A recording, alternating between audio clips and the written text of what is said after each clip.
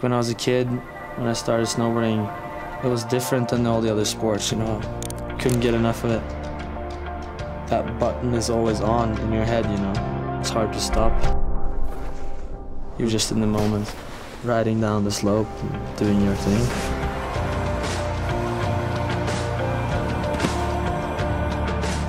Being free, I think that's why I'm so obsessed with snowboarding.